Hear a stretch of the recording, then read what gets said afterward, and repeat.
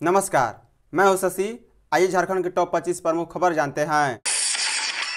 झारखंड में सीएम पद नहीं छोड़ेंगे हेमंत सोरेन। झारखंड में मुख्यमंत्री बदलने को लेकर जारी अटकलों पर विराम लग गया है। झारखंड विधायक दल की बैठक में एक सूर से हेमंत सोरेन को मुख्यमंत्री पद पर बनाए रखने का फैसला लिया गया। इससे पहले ऐसी अटकलें थी कि ईडी की ओर से मिल रहे लगातार नोटिस के बाद हेमंत सोरेन इस्तीफा दे सकते हैं और अपनी जगह पत्नी कल्पना सोरेन को प्रदेश की बागडोर सौंप सकते हैं। सूत्रों के मुताबिक विधायक दल की बैठक में हेमंत सोरेन ने विधायकों से कहा है कि ईडी की कार्रवाई उन पर दबाव बनाने के लिए की जा रही है। हालात जो भी होंगे, उनका सामना करना पड़ेगा। मीटिंग के दौरान हेमंत सोरेन ने अपने मीडिया सलाहकार के घर की जा रही ईडी की कार्रवाई का भी ज़िक्र किया। सीएम ने विधायकों को बताया है कि उनके मीडिया सलाहकार के कमरे के ताले को ईडी ने चार लोगों से मिलकर तुड़वाया। आगे भी दबाव बनाने की कोशिश जारी रह सकती है। ऐसे में किसी भी तरह के राजनीतिक हालात का सामना करना पड़ सकता है। सीएम ने सबसे आगे की रणनीति पर पूछा तो विधायकों ने कहा, जो भी फैसला लिया जाएगा, सब साथ देंगे। अब सभी विधायकों को अगले कुछ दिनों तक रांची या आसपास के इलाके में रहने के लिए कहा गया है। झारखंड में 10 लाख लोगों को मिलेगा रोज़गार, शुरू हो चुकी है तैयारी। राज्य में इलेक्ट्रॉनिक सिस्टम डिज़ाइन तथा इसकी मैन्युफैक्चरिंग को बढ़ावा देने के लिए तीन शहरों में ईएसडीएम इनोवेशन हब की स्थापना की जाएगी। इसके लिए रांची, जमशेदपुर तथा धनबाद का चयन किया गया है। सूचना, तकनीकी एवं ई गवर्नेंस विभाग आगामी वित्तीय वर्ष के बजट में इसका प्रस्ताव लाने की तैयारी कर रहा है। IT data centre and DPO investment promotion policy 2023 में भी इसका प्राविधान किया गया है। कैबिनेट की स्वीकृति के बाद वर्ष 2023 से 28 के लिए यह नीति लागू हो गई है। IT data centre and BPO investment promotion policy में रांची और धनबाद में इलेक्ट्रॉनिक मैन्युफैक्चरिंग क्लस्टर के निर्माण का भी प्रावधान किया गया। वर्तमान में पूर्वी सिंहभूम के आदित्यपुर में यह क्लस्टर है। झारखंड समेत पूरे देश में चालकों की हड़ताल खत्म। सरकार के आश्वासन के बाद हिट एंड रन कानून को लेकर ट्रक व बस चालकों की हड़ताल खत्म हो गई है। देशव्यापी हड़ताल के तहत विरोध कर रहे ट्रक चालक अब काम पर लौटने लगे हैं। हालाँकि झारखंड के दूर दराज के इलाकों में बुधवार को भी कारोबार संबंधी परेशानी बनी रही। झारखंड चैम्बर और रांची चैम्बर ने इस बात की पुष्टि करते हुए कहा है कि एक दो दिनों में स्थिति सामान्य हो जाएगी। रांची चेंबर के अध्यक्ष संजय माहुरी ने कहा है कि हड़ताल समाप्त होने को लेकर कुछ इलाकों में चालकों में अब भी भ्रम की स्थिति है। All India motor transport congress को इस मामले को स्पष्ट संदेश देना चाहिए। ट्रक और बस ड्राइवरों की हड़ताल खत्म होने से आम लोगों ने राहत की सांस ली है। शिशु पंजी कार्य में लापरवाही बरतने वाले राज्य के शिक्षकों पर गिरेगी गाज। राज्य के आउट ऑफ़ स्कूल और ड्रॉप आउट बच्चों के लिए शिशु पंजीकरण कार्य में लापरवाही बरतने वाले शिक्षकों और पदाधिकारियों पर कार्रवाई की जाएगी। झारखंड शिक्षा परियोजना परिषद की राज्य शिक्षा परियोजना निदेशक किरण कुमारी पासी ने सभी 24 जिलों में शिशु पंजीकरण कार्य की जाँच के लिए टीम का गठन किया है। हर ज़िले में सात जनवरी तक भ्रमण कर अनुश्रवण दल के पदाधिकारियों को शिशु पंजीकरण कार्यों की समीक्षा कर रिपोर्ट तैयार करने का निर्देश दिया गया है। विशेष रूप से कमज़ोर जनजातीय समूहों के क्षेत्रों को प्राथमिकता देते हुए उन क्षेत्रों पर विशेष ध्यान देने का निर्देश दिया गया है। किरण कुमारी पासी ने अनुश्रवण दलों में शामिल पदाधिकारियों को निर्देश दिया है कि ऐसे शिक्षक, शिक्षा पदाधिकारी या विद्यालय के अधिकारी जो शिशु पंजीकरण कार्य में लापरवाही बरत रहे हैं, उन्हें चिन्हित कर विभागीय कार्रवाई के लिए अनुशंसा करे। विपक्ष आदिवासियों को नहीं सिखाए लोकतंत्र। सीएम हेमंत। मुख्यमंत्री हेमंत सोरेन ने राजनीतिक विरोधियों पर महापुरुषों की जयंती के मौके पर उनकी कही बातें सोशल मीडिया पर पोस्ट कर निशाना साधा है। मरांगोम के जयपाल सिंह मुंडा की बातों का उल्लेख करते हुए सोरेन ने कहा है कि आप लोग आदिवासियों को लोकतंत्र नहीं सिखा सकते, बल्कि आपको समानता और सह अस्तित्व उनसे ही सीखना होगा। उन्होंने कहा है कि संविधान सभा के सदस्य मरांगोम के जयपाल सिंह मुंडा हमेशा आदिवासी और शोषित समाज के हक अधिकार के लिए लड़ते रहे। जयपाल सिंह मुंडा परदेशीय छात्रवृत्ति योजना के अंतर्गत झारखंड सरकार ने राज्य के वंचित वर्ग के 50 युवाओं को सरकारी खर्च पर विदेश में उच्च शिक्षा के लिए भेजने का काम किया है। बाइक चोरी करने वाला सुनील साहू निकला पीएलएफआई का हार्डकोर उग्रवादी। नरकोपी के करगे थाना क्षेत्र निवासी सुनील कुमार साहू सुखदेव नगर थाना पुलिस की जाँच में पीएलएफआई का हार्डकोर उग्रवादी निकला। उसने फरार रहते हुए कुछ माह पूर्व लोहरदगा जिला के कुड्डू थाना क्षेत्र में उग्रवादी घटनाओं को अंजाम दिया था। उस पर एक केस रंगदारी मांगने और विस्फोटक अधिनियम से जुड़ा है, जबकि दूसरा केस उग्रवादियों के नाम पर जान मारने की धमकी देकर लेवी मांगने का है। आरोपी ने लोहरदगा में वाहनों में आगजनी की घटना को अंजाम कुछ माह पूर्व दिया था।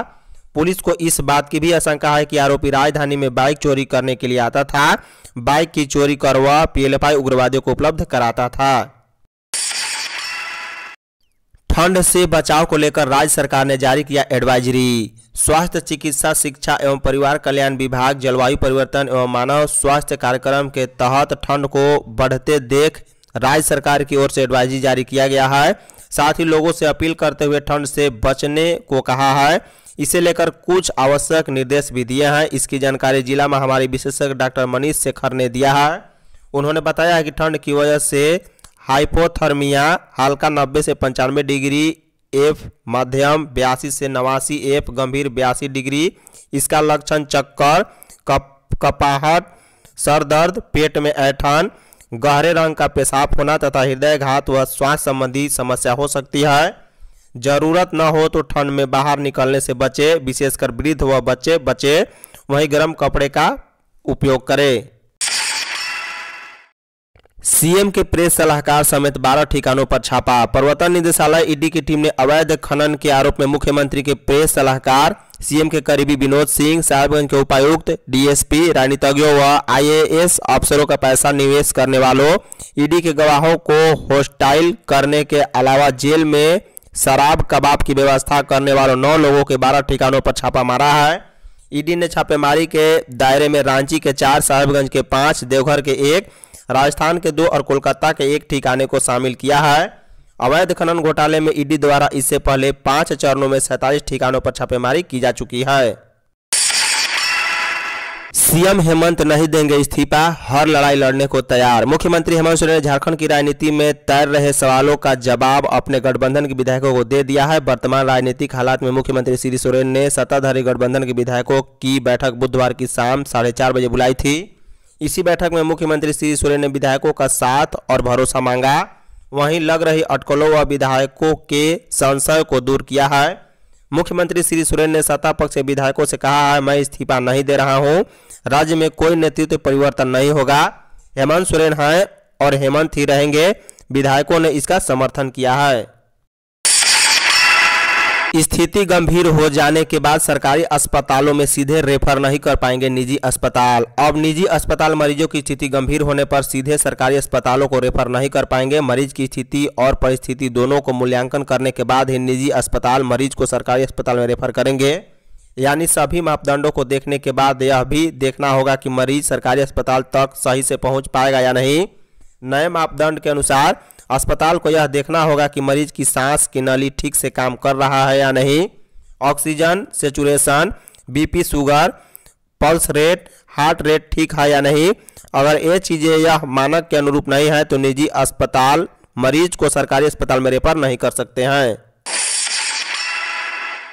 रांची पहुँची भारतीय महिला हॉकी टीम। झारखंड की राजधानी रांची में होने वाले हॉकी ओलंपिक क्वालिफायर 2024 के लिए भारतीय महिला hockey team, hockey Olympic qualifier 2024 के लिए बुधवार शाम रांची पहुँची।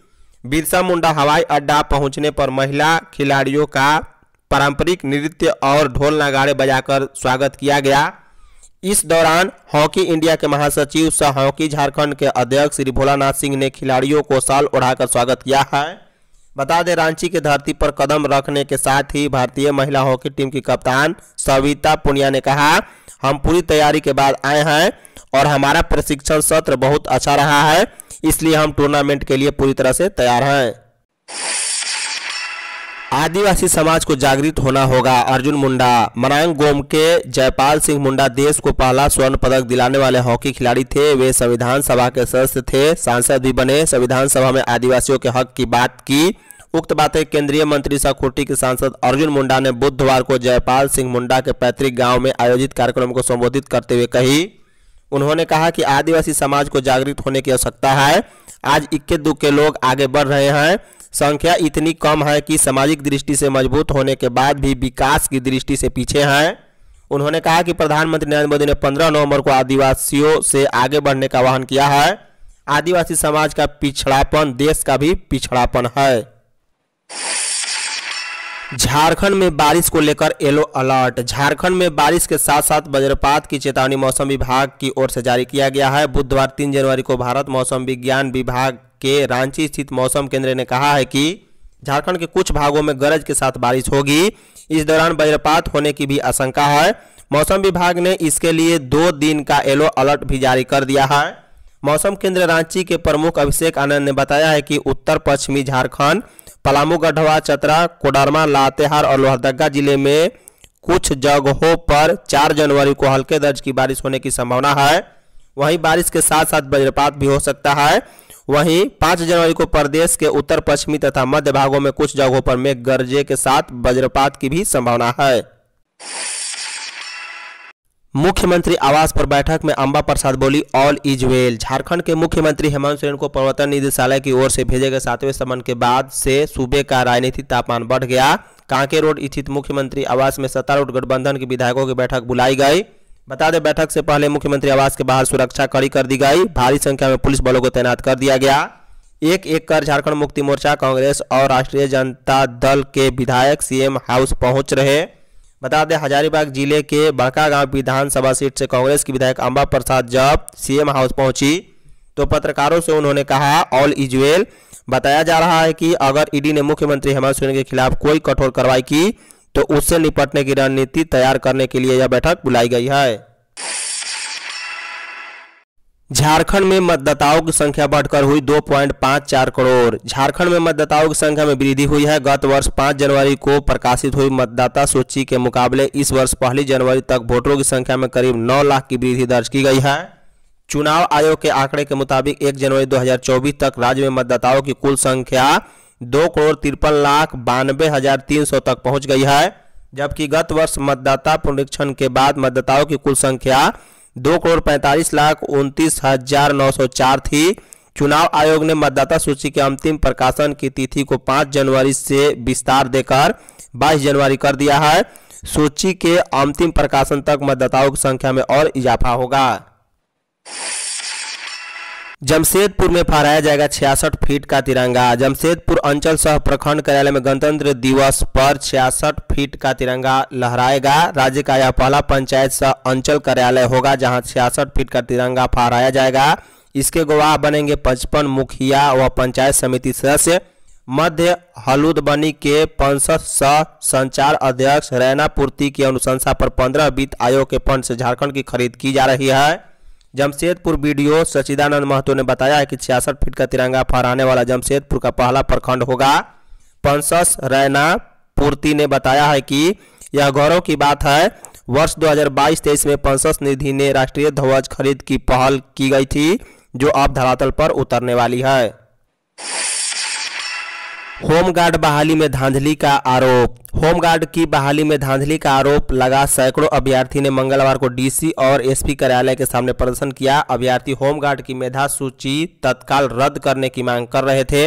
अभ्यर्थियों ने पहले एसपी कार्यालय के सामने प्रदर्शन किया, वहाँ आवेदन देने के बाद वे डीसी कार्यालय पहुँचे। तभी डीडीसी कीर्ति श्री की गाड़ी निकल रही थी। अभ्यर्थियों ने उनकी गाड़ी रोककर अपनी मांगे से अवगत कराया। इसके बाद अभ्यर्थी डीसी कार्यालय के सामने डटे गए। वहीं आंदोलन के दौरान विधि व्यवस्था में तैनात पुलिस बल से अभ्यर्थियों की नोक झोंक भी हो गई।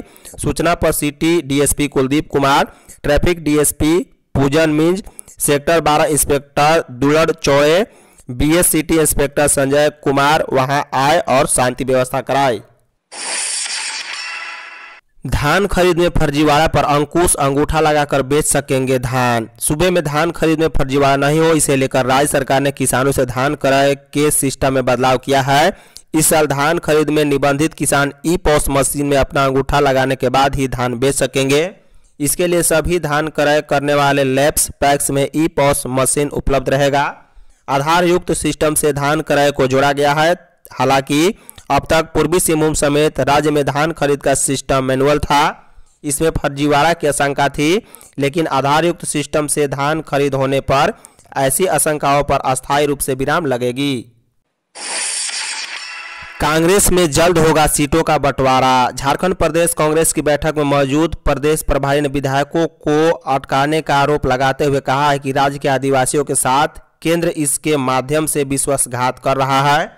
झारखंड कांग्रेस के प्रभारी गुलाम अहमद मीर अपने झारखंड दौरे के दूसरे दिन विधायक दल की बैठक को संबोधित कर रहे थे। इस दौरान प्रदेश कांग्रेस अध्यक्ष और हेमंत सरकार में कांग्रेस कोटे के चारों मंत्री मौजूद थे। बैठक के दौरान प्रभारी गुलाम अहमद मीर ने कहा है कि सरकार ने ओबीसी आरक्षण को बढ़ाकर 27 प्रतिशत करने का प्रस्ताव विधानसभा से पारित किया, लेकिन इस पर अनुपालन नहीं हो रहा। लंबे समय से सरना धर्म धर्मकोट की मांग को विधानसभा से पारित कर केंद्र सरकार की अनुमति के लिए भेजा गया है। सीबीएसई स्कूलों में पढ़ने वाले बच्चों की रिपोर्ट कार्ड पर अब अभिभावक देंगे फीडबैक। सीबीएसई स्कूल में नई शिक्षा नीति के अनुसार अब बच्चों के रिपोर्ट कार्ड पर अभिभावकों का फीडबैक लिया जाएगा। सीबीएसई के द्वारा जारी पत्र के अनुसार बच्चों के सर्वांगीण विकास के लिए शिक्षक और अभिभावक दोनों अपनी अपनी ज़िम्मेदारी को मिलकर निभाएँगे। इस नीति के लागू होने के बाद अभिभावक बच्चों की ज़िम्मेदारी में पूरी तरह से हिस्सा ले सकेंगे, ताकि आगे बच्चे अपनी आने वाली कक्षाओं में बेहतर कर सके। नई नीति के अनुसार यह मॉडल अगले सत्र से लागू किया जाएगा। इस पहल के लिए सभी स्कूलों के शिक्षकों को प्रशिक्षित किया गया है। धन्यवाद।